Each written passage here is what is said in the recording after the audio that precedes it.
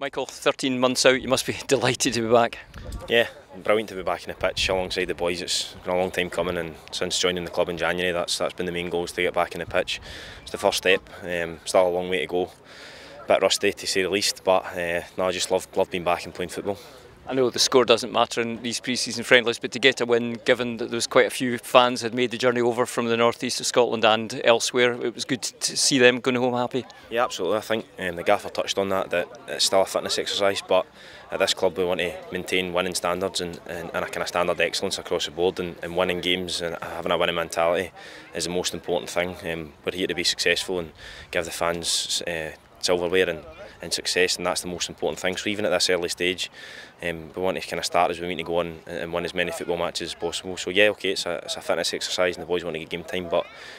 we want to maintain the um, the winning the winning mentality that we've got.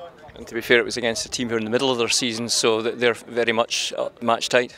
Yeah, absolutely. I think I think as you said, they've um, they've been playing competitive games. We haven't. It's our first game.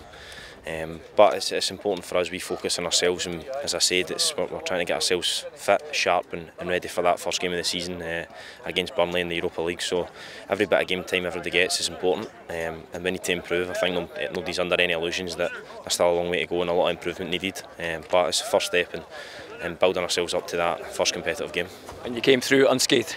Yeah, absolutely. Fortunately, fortunately enough, a lot to, a lot of improvement there, a lot of room for improvement certainly. But um, delighted to be back there and, and thoroughly enjoyed it. Brilliant. Thanks, Michael. Thanks, Dave.